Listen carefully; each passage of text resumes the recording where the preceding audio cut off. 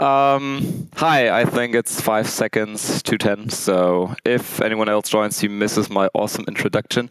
Um, to keep it short, hi, my name is Chris. Um, besides organizing FrOSCon, um, I'm a DevOps engineer um, as a freelance consultant. So I do cloud migrations. Um, uh, many things in terms of agile, and I basically teach, train, live, and breathe Puppet um, doing this for organizations from owning two data centers to uh, renting one or two servers. Um, so basically, all sizes. Um, that's probably all of, about me. Um, most companies always face a problem with less sys administrators. We don't find them. We have no idea where to hire them. Um, so we need to find another way um, how to actually manage our infrastructure. Um, some companies have the idea, let's do Puppet. Others want to do Ansible or um, other equivalents. Um, I think Puppet is a great idea. Um, Ansible is a cool idea too, but has other advantages. so I always tell them, yeah, let's do Puppet is a good idea. Um, Yes. So the problem is when most companies start, um, same for when I started with Puppet with an open source project. Um, it's pretty much looking into the documentation and being like, yeah, we can do it like this to install something. Um, and then we continue with our code. So um, yeah, we just keep adding stuff to our one file. Um, then we do this again. Um, and so we have huge files, nothing is structured, nothing is organized. Um, good thing about Puppet, it lets you do this. Um, it works. Um, the problem is your colleagues probably want to kill you after some days or some weeks into this. Um, easily said, things got really weird. So, for example, we changed one little thing, and a totally different application started to break uh, just because of we didn't even know that was linked or something like that. Um, and again, Puppet is very flexible. It lets you do all kinds of crazy shit. Um, it just doesn't tell you that it's not clean. Um, so feel free to mess around with it. It can totally break your computer. It can totally make it awesome. Um, but uh, yeah, if you just start to do this, um, probably even you will not understand what you tried to develop a few months back. Uh, yeah, so it got really weird to be honest. So um, especially when you do this in a in a cloud environment where machines boot up when another one failed. So no matter public or private cloud, one machine fails, we we just set up a new one you don't know where things are coming from. Um, so you're pretty much lost with what you actually developed, and you hope that things get stable. Um, it's not a good idea. I don't know. Any one of you already did Puppet? Do you understand the problem, or did you have the problem? To be honest. Looks like a yes to me. okay, um, then some great people had the idea. Okay, we can use Hiera um, to actually at least get the data out of what we developed. Um, so we started to create huge YAML structures. Um, added eYAML, added yet another KMS integration for Amazon AWS or some things like that. And again, it got huge and no one had any idea where things are coming from, like duplicated layers um, that actually did the totally same thing, for example, um, or merge strategies that were not understood. Um, so actually, we again had no idea where the data was coming from just because of too many people were involved and too many people actually tried messing around and doing stuff on their own without really understanding how the infrastructure was built. Um, so yeah nope um, didn't really work at all. Um, then we had the idea in the operations team um, to actually redefine what puppet actually is. Um, so all in all, Puppet is nothing else than code um, distributed, uh, like used to actually not not build an application, but to deploy a service. Um, so what did we do with code? We started to do use patterns. This actually should mean frameworks on the second slide. Um, I just messed that up. Um, so we started to invent frameworks on how we actually could build our application um, to actually make it easier um, and to make it understandable for everyone else. So some people say, yeah, you could add comments, but um, yeah, first of all, you need to read the comments you have uh, developed, written, whatever. Second, you actually need still need to understand how it's all linked. Um, so comments will tell you what's going on in this specific line of code, but not how it's working all together. Um, yes, this is why we have patterns, frameworks. Um, and what I'm going to tell you um, about is actually the most common framework.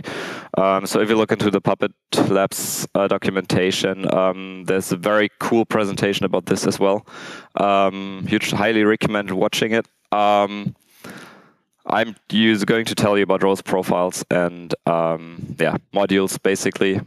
so actually, how things tried to to split up the um, administrators from the team leads or development managers and the actual managers of the application. So basically, the business view. Um, when you compare it, we have the business view, we have what the application actually is, and then we have the administrator who actually cares what happens. So, for example, the CEO of a company doesn't really care at all what's what's on the server as long as the application is running or what he wants to do is working. Um, the team lead actually cares that the application really is deployed as it is. For example, that you, you need a database for this application and stuff like this. And the administrator really cares that the database is installed as expected and hardened and whatsoever. Uh, what other people just don't need, don't even want to know. Um, yeah, speaking about Puppet, everything is pretty much a module. Um, you can write your own manifest, but as soon as you start to separate code, everything is a module. Um, again, Puppet, if once you get it, it's really, really easy. You just need to structure it. And pretty much the only way to structure code till now is modules. Um, yeah. So how do we do this um, with this views? Um, the most basic concept, as explained, is this. Um, for every application you have, I call it XYZ because if it's easy, um, you create your own module. One module could be Postfix, one module could be Apache, could be Nginx, could be HA Proxy, all kinds of software you actually have in your data center. Important as soon as you, for example, have Tomcat and you have your own applications, please don't try to build a generic module for Tomcat application or something like this, um, because of again you don't know where code is coming from. So uh, create one module for Tomcat and then one module per application. If it's just installing a WAR file, that's fine. Um, but you actually know what's going on if you look into it, so just as you look into it. So it's very straightforward and you really know where to find your code. Um, then you have profiles, which pretty much abstract this. So profile pretty much tells the server or is intended to tell you okay, for my application, um, web firewall, whatever, I need Nginx and I need HA proxy and I need um, a Tomcat on this machine. So in the profile, you really include all the modules you actually need in your application. Uh, speaking of, yeah, include Apache, include Nginx, include HA proxy, but nothing else. Profiles don't really implement code, they just include code. So everything that's really to the resources you have in Puppet is in those real, real modules. As soon as you realize, um, yeah, but this is just a hotfix, create a new module, please. So people will understand what you try to do, um, and it's easily, you can easily figure it out. Um, yes, you can also use, the point is you can use multiple profiles um, in one run. But then you have roles which should pretty much describe a server, which is one to one to one server. So you can reuse a role on five servers, but the role should only be like one server should only install one role. As soon as you realize you need a second role, you have by definition actually invented a new role. Um, in the original talk, there was something like something couldn't be a kangaroo and a lion at the same time, with a very nice picture of a lion and a kangaroo Photoshop. Um, yes, something couldn't be a lion and a kangaroo at the same time. Don't use two roles on one machine because of that's per definition not possible. But a role can include multiple profiles. So in every role you have include profile A, profile B, profile C, but nothing like include Apache again. So you have this, I have a very nice, I created, let me see if I can find this picture actually. Um, I created a very nice um, chart about this, um, which actually displays the um, hierarchy. Let me see if I can get this up very quick. Um, this one.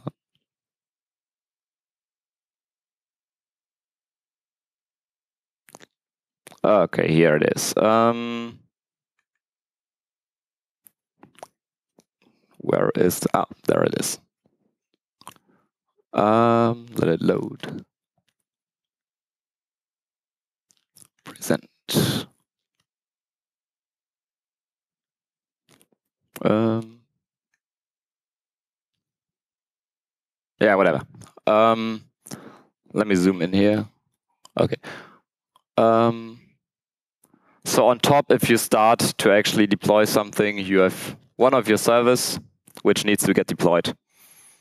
Then the server should actually include one role.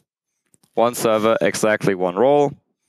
As you can see here, one role can be used on two different servers, but you don't have one server which actually implements two roles. Um, by doing this, you really have a very strict separation of what's actually going to be on this machine. And for example, your top level manager can actually go and say, okay, this is role um, application one, and I need application one. So he can say, okay, deploy this application one role, and he ex knows exactly what is on this machine. Questions to this? Nope. Yeah? Yeah? That's okay.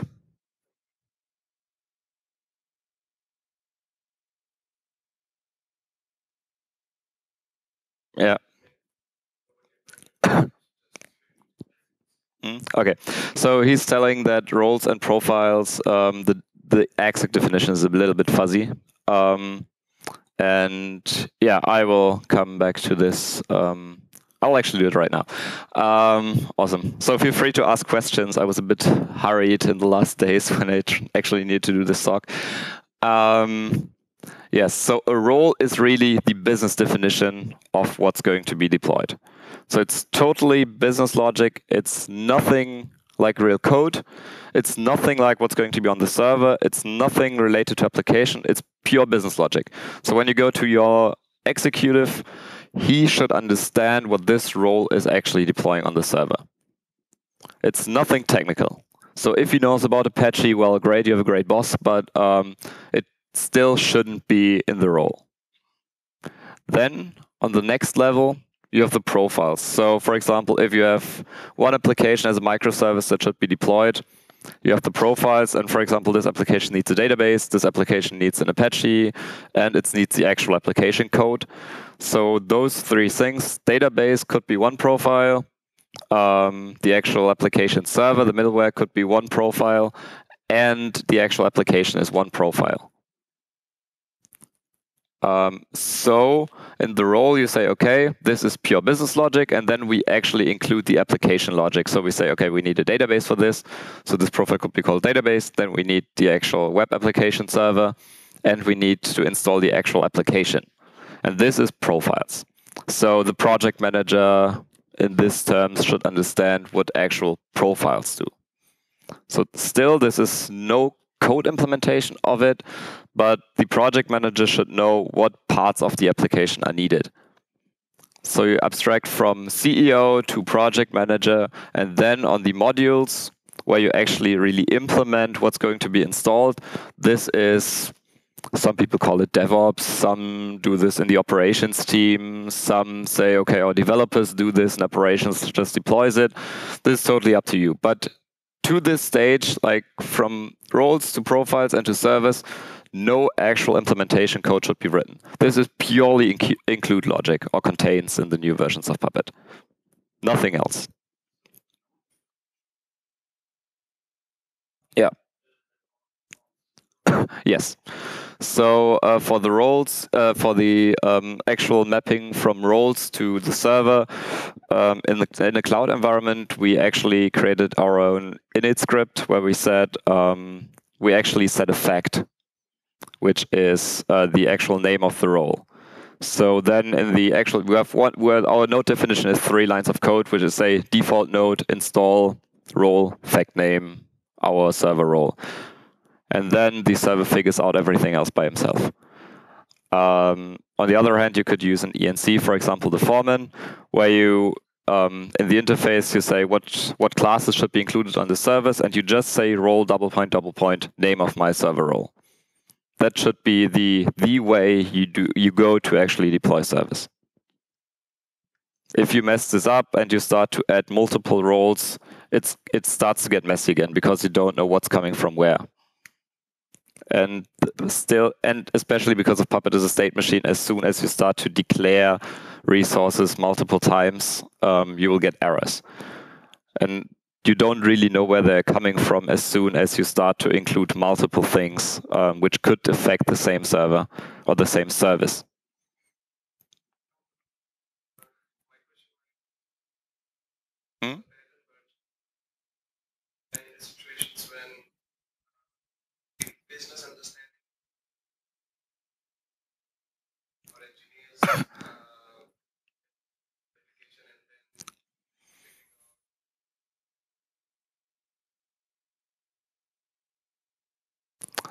Um, so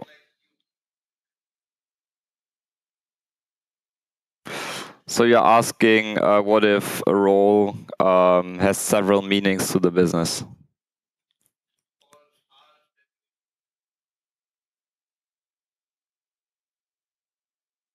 Oh, so you're asking if the definition of a, an actual application is rather a role but not a profile. Okay. Yeah. So basically, um, in this pattern, please always use this hierarchy. So if you have one role which only includes one profile, feel free to do it. Most people have one profile which is called base, where you just do something like NTP and hardening and stuff like this. So in most cases, you always install the base profile and your application profile. So you have at least two profiles. But um, if you start to just skip a row, um, people cannot really understand what's going on because if they can't really follow those lines and see what's actually happening. Yeah. What's it good Uh, some of the okay? And then in the modules, um, the profiles really just include modules again, so other modules, and they actually do things with the resources. And very important, as soon as you start to create modules for applications, one resource should only be used in one module. So as soon as you have a resource which is managed by two different modules, you should start thinking about how to refactor this, that this is not possible. One module should really focus or care about one application and all of its resources. So you might need to be a bit more generic with this module, but it really helps you to not have errors while deploying a service. And this could be production effective. Like it could really kill your production deployments because of if you have an error in production because of this resource is already managed, but it's not on staging or somewhere else, you really kill your production deployment, which is not so good, I assume.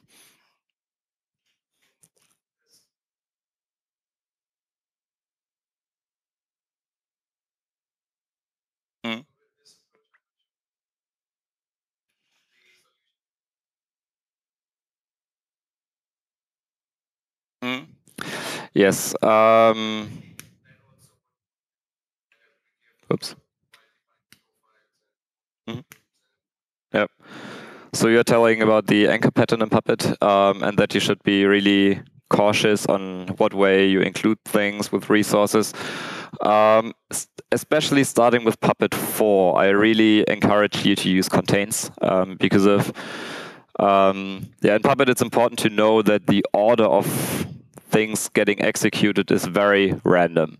So if you have install Vim and then install Apache, it's in no way guarantee that it installs Vim first and then Apache. Um, so people started to find ways around ordering. One is the anchor pattern where you said, okay, I create a block, and then I say, okay, when this block starts, the next thing is this, next thing this, next thing this, and then end, like end this anchor. It was a good hotfix. Puppet encouraged to use it. Um, and in version 4, they actually added an alternative to include, which is contains.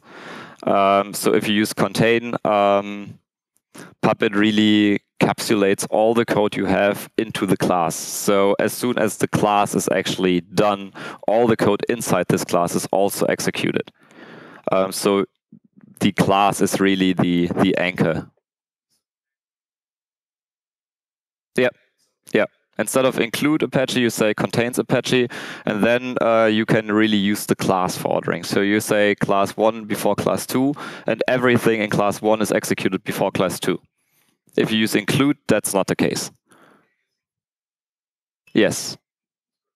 It's very, yeah, it's very good. Um, the only problem we had was uh, with three, everyone didn't give a shit about um, um, integers and strings. And starting with Puppet 4, it all got very type sensitive. Um, so, um, so this was quite of a mess because of some things just stopped working because of the type sensitivity. Um, but especially that was a good reason to start also writing rspec tests and everything got way better. Um, so I encourage you to actually go from Puppet 3 to 4 because of um, you get to know or you realize testing is a good idea and you actually start doing it. Yeah?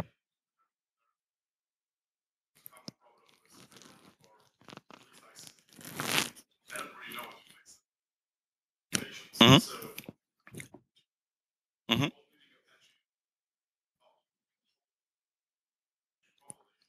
Uh, you have two applications, both needing Apache, and yeah, and you don't know how to deal with it. So basically, Apache is um, in this matter is a module. I don't know. Can you really can you see this? It's let me look for yeah probably. um, so Apache is really a module, and two profiles could include Apache. In Puppet, um, as soon as a class is included, it's included, so it's in. So even if you have a role which includes both profiles, Apache is only installed once.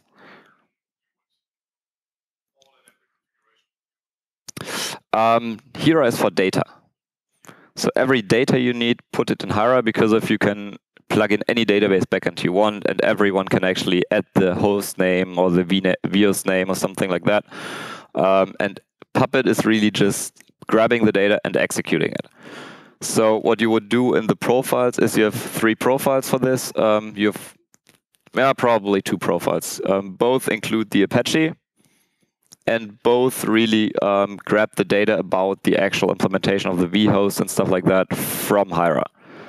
Um, some people even go that far that they have a Hiera hash where they really put in all configurations they need and have a very generic install Apache vhost um, profile where they just pull the Hiera hash and then create the, all the resources that are in this hash. I wouldn't encourage you to do so, but it's possible.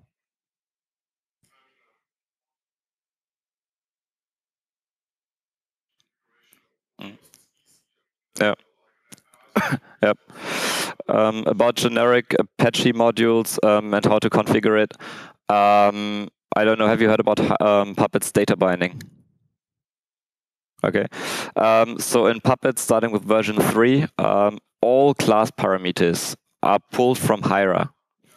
So for example, Puppet goes like, if it runs, it checks, okay, is in the actual include or when we create the class, are there any parameters? If no, it uses the default ones, it pulls from Hiera. If there are no values in Hiera, then it goes to actually use the ones you coded. So Hiera is always higher prioritized than the default implementation of the module. So for your Apache application, what you would do is just override the Apache double point, double point, params, double point, double points, names, whatever.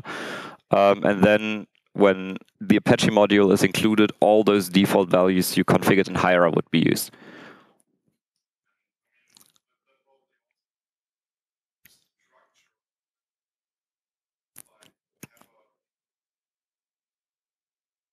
Yes, some people use a separate hierarchy for profiles, but um, I would rather, I always encourage people to use it with roles because of on one server you have one Apache configuration, but you could have several profiles.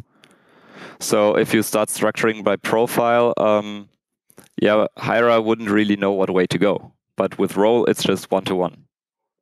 So you can really say, okay, this is one configuration, use this.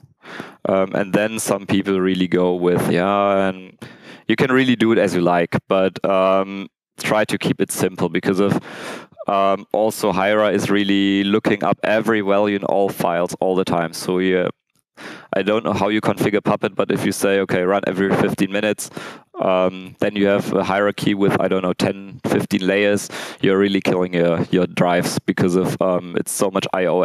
action to actually just open the files. An alternative could be to put it in a tmpfs or to put it into the RAM. This solves a lot of performance issues with Puppet, but still it Puppet always opens up all the hierarchy files until it finds the value it's looking for. And especially if you're using default values from the classes, um, yeah, it's a lot of lookups. So really try to keep the hierarchy very small to be once readable, second easily and perform like in a high performance parsable by Puppet. Any other questions? Then that would actually be it, to be honest.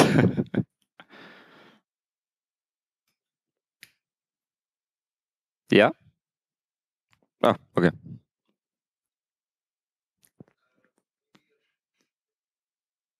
Hmm?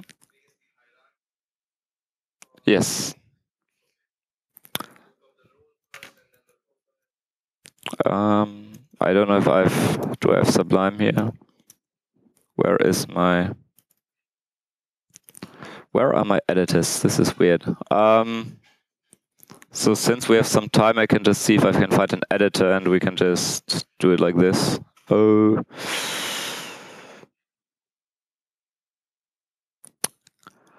Okay, I don't find any real editor right now, so we just do it in Word. Um, um,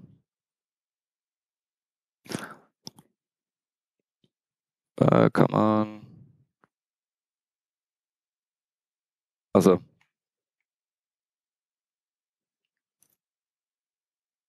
Okay, so in the hierarchy you would have um, roles slash um, role name in front, you would most people do something like node or server name to really get specific. Um, some people also add a layer for um, network segment. I wouldn't encourage you to use profile there because of um, you could use you could have several profiles in one server, and this is a way Puppet couldn't figure out what actual way to go. Because if you need one-on-one, it's Hiera lookup, it's just one file in this layer, so no idea where to go. So roles is really uh, a one-on-one matching. People always use or often use, depending on network layout, use network segments because if they have their own dedicated DHCP service or NTP service in the actual segments. Really depends on your architecture. Um, and then you really have role role name and some people really add something like application. Um, no, not really. Like this should really be um, is really a good start for a hierarchy to actually use. Um, on the bottom, some people have not uh, always use something like common to have some default configurations, um, but a four four layers is really quite performant, um, and it should really cover all your needs. And the important thing to know is if you have several backends like YAML, you have eYAML, maybe another database, Puppet will use the, the order of the actual backends and then look up all the these segments in all databases as soon until it finds something. So really try to keep it small to really don't kill your Puppet masters. On the other way, like the alternative would really be if you need it, you need to really scale up the Puppet masters.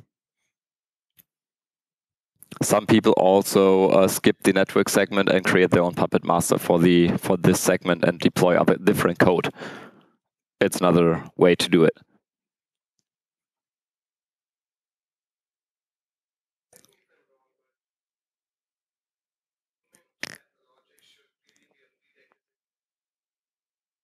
Yes. So the containment logic is really essential for creating Puppet modules. Um, yeah, yeah, yeah, yeah. So implementing this pattern is really um, about actual structuring a code and then structuring Hiera, because of um, the point is you don't. To be honest, you don't need this. You don't even need Puppet if you just want to spin up a computer. Use Ansible, you're quicker um, if you really want to manage the infrastructure, so keep it running once the servers are running, use Puppet because of its state, uh, state machine. For example, I don't know if any one of you dealt with PCI requirements or um, the Bankenfinanzaufsicht in Germany, a lovely um, institution about controlling banks.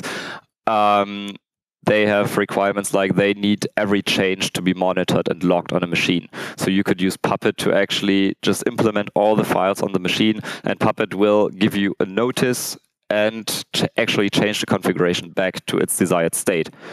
Uh, so this way you can really ease your application, your server monitoring because of Puppet will take care that it looks as as expected, as certified, and it will also keep track of what changed. So you have a really good hook and you can use alerting systems that if something changed, you can really look into the stuff.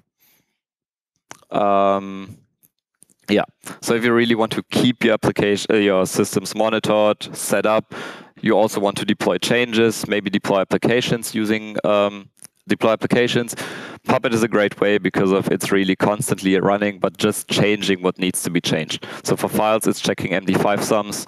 Uh, for RPMs, it's checking the installed versions. Um, for deb packages the same. So you can really just say, okay, maybe if you want to update the application, you can just tell Puppet to install the newer version of the actual application package, and Puppet will do so as soon as, as it's running. Um, some people also use a combination of Puppet and Ansible to actually trigger Puppet on the node. So they use Ansible as a remote execution script, but then use Puppet to actually deploy the code because of its more generic and for example in Ansible. I think they just implemented a package um, abstraction but to date they had just if you want to install an RPM you need to use the RPM specification. If you want to install deb you need deb if you have a hit or if you have a very different network and you have several types of machines, it's very hard with Ansible. It at least used to be. With Puppet, it's very it's abstracted on a very high level. You just tell, I need this file and I need this package, and Puppet takes care of it, What whatever is needed to actually do it. Uh, with other frameworks, you really need to code what's going to happen then. But um, yeah, because of Puppet is so generic, really consider or take some time to really figure out how it's actually coded and really try at least you can invent your own framework. It's just one way to do it. It proved to be really good. So if you want to do the puppet certification this is going to be asked as well. Uh, so they have quite a lot of questions about this roles profiles pattern actually in the certification program. Um, but yeah spend some time actually thinking about what you're going to be to uh, do be doing. Otherwise you will start redoing your entire puppet stuff um, every other year